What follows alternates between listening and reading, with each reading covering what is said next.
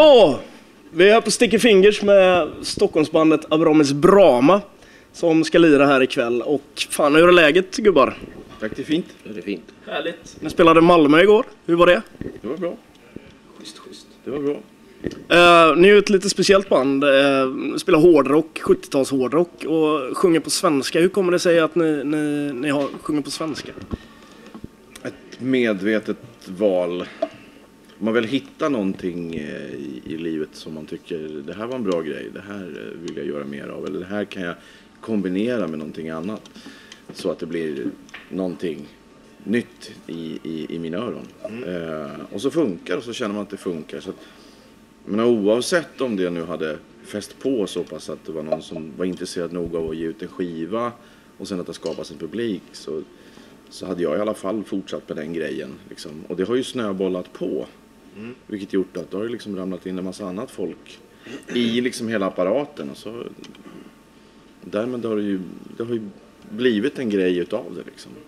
Så så kommer det sig. Sådär. Har du några liksom...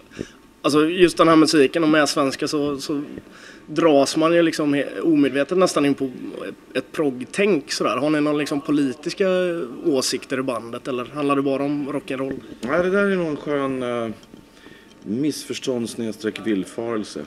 För, att, för att det är på svenska så är det inte automatiskt progg på något vänster. Det finns lite, lite, lite politiska grejer någonstans här och där. Men det är absolut ingen inriktning. Jag skulle tro att tar vi ett snitt i bandet på vad vi röstar på så petar åt alla håll.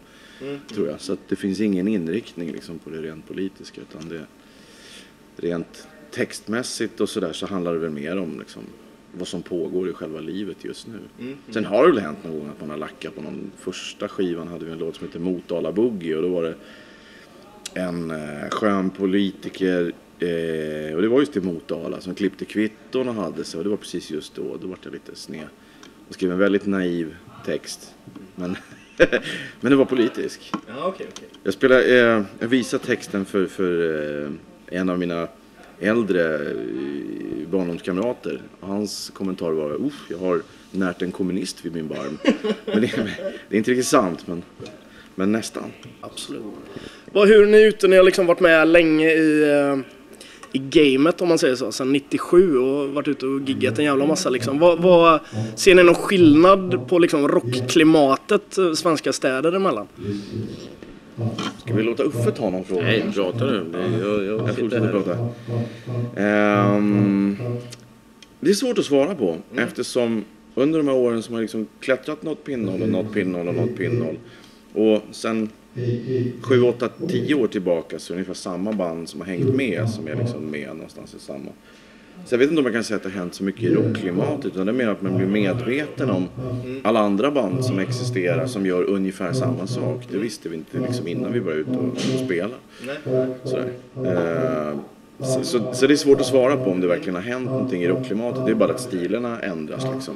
Och ju mer populär någon stil blir, ja, ju, ju fler blir det av de som spelar samma sak liksom. Plus att man blir mer medveten om de andras, för de dras ju, alla dras ju till varandra som flugor liksom, som sysslar med samma sak. Liksom. Sådär. Så då, då, vi har ju liksom inga thrashcore metalband som ringer och frågar om de får spela förband. Utan det, det är liksom, det är de som gör ungefär samma sak. De, de hör av sig liksom. Och då blir man ju medveten om, om asbra band som till exempel kvällens förband Horisont. Det är också en typisk sån där grej. Som bara på omvägars omvägars hörde någon, någonting med dem. Så att jag har haft deras demos sen, sen första liksom, så jag tänkt någon gång måste vi lira med de här för de är jävligt balla. Och äntligen nu då fick de ut en skiva på, på Crusher förra året. Och det var ju i min bok förra årets bästa skiva. Vilket är liksom, av alla gig ni har gjort så här, har ni något så här sämsta gigget någonsin? Något sånt här som saker verkligen har gått åt skogen? Det hade varit skitspännande att höra. Usch, ja, fy fan vi spelade på någon, på någon jävla... Ett år innan World Trade Center fick flygplan i sig så spelade vi på World Trade Center i Stockholm på någon jävla musikmässa. Och så satt tre pensionärer i publiken så här och, och en dog och en gick typ liksom. Och sen så efter halva tredje låten så gick alla strängar och slutade vi spela och gick av. Och då började de applådera när vi gick liksom. och det var, det var 2000 var det. Ja, det var, det var riktigt riktigt, riktigt illa. Sen har det ju hänt, ja, men fan, liksom, men genom åren så har man åkt så är det någon som har anordnat en festival i Malmö liksom. Så ska vi spela sist då liksom. Så här, sista spotten. Sådär, och störst och det kommer mer och mer och mer publik. Problemet är bara att de har bara tillstånd att föra livemusik fram till klockan 12. Så att när alla band har försenats och försenats och försenat då har vi 20 minuters speltid kvar. Så vi hinner springa på, göra bort oss genom att säga fel saker, spela två låtar. Sen tack kan ni ha, nu har vi åkt 70 mil för att spela 20 minuter. Och sen får vi åka till hotellet och sen åka hem. Ja, det, det, det låter ju inte så ball.